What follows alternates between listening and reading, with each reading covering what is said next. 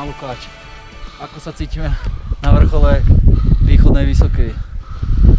Tak ponúkame záber z východnej vysokej, tu na krásnu tatranskú panorámu, avšak tieto zábery sa nerodili ľahko, nakoľko cesta bola chvíľami veľmi strmá, takisto nás nedôzňovali ešte na uvoľnené kamene.